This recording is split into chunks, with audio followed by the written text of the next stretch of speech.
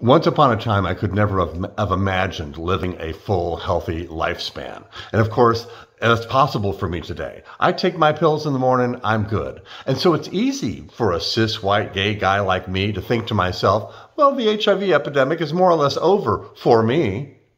That's the problem with the way we see the end of the HIV epidemic, is that a lot of us got what we came for, and we're complacent and we don't realize that the HIV epidemic isn't over for anybody until it's over for everybody.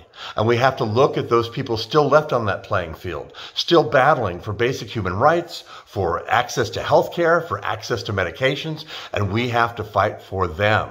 We have to remember that we were once outsiders that were fighting for basic human rights, and we have to get that for everybody. That's how we'll end the HIV epidemic in our lifetime, is not forgetting those left behind.